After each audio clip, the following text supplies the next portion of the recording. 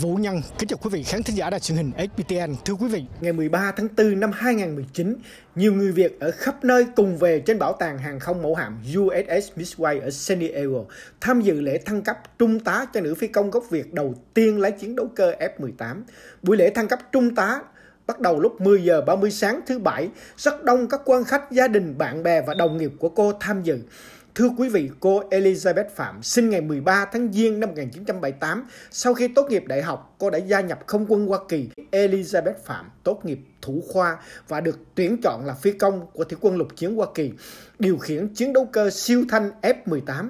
Cô đã từng phục vụ tại các lực lượng tiền phương ở vùng Thái Bình Dương, tại chiến trường Trung Đông, tại Iraq. Cô phục vụ trong không đoàn 242 của Thủy quân lục chiến Hoa Kỳ yểm trợ và tấn công dưới mọi thời tiết. Các phi công của không đoàn này được tuyển chọn từ những phi công ưu tú nhất của Thủy quân lục chiến Hoa Kỳ. Cô Elizabeth Phạm là nữ phi công duy nhất có mặt trong không đoàn này và là một phụ nữ Á Châu duy nhất đầu tiên lái chiến đấu cơ F-18. Những cống hiến hy sinh của cô cho quân đội Hoa Kỳ tại chiến trường, ai cũng hãnh diện về thành tựu của cô trong các trận đánh. Là một phi công có nhiều chiến công, tài giỏi, dũng cảm. It's United States Marine Corps and God bless our beloved country and our allies the United States of America. In your name.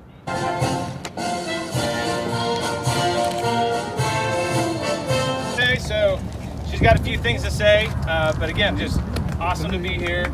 And today we're celebrating Lieutenant Colonel Pham. All right. Cô Elizabeth Phạm phát biểu, cô rất cảm ơn cha mẹ, gia đình, các anh em trong quân đội cũng như các sĩ quan đã cho cô có được ngày hôm nay. Trong buổi lễ thăng cấp này được tổ chức trên hàng không mẫu hạm USS Midway rất có ý nghĩa với cô và gia đình cũng như nhiều người Việt Nam tị nạn khác.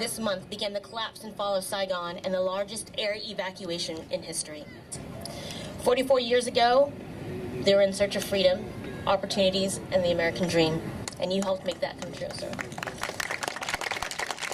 Tôi là đại tá của Thủy quân lục chiến Hoa Kỳ.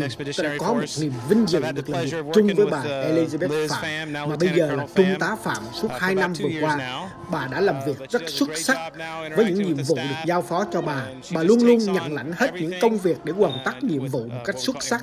Bà là một sĩ quân Thủy quân lục chiến tuyệt vời, một người phi công tuyệt vời và cũng là một người mẹ rất tuyệt vời.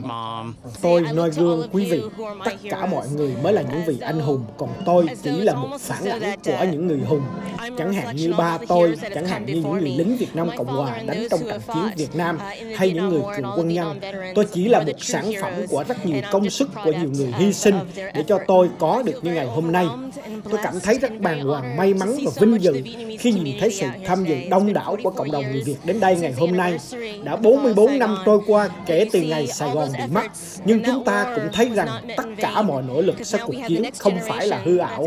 Giờ đây chúng ta đã có một thế hệ nối tiếp đang được sống trong sự tự do với rất nhiều cơ hội. Khi hòa nhập vào đất nước Hoa Kỳ.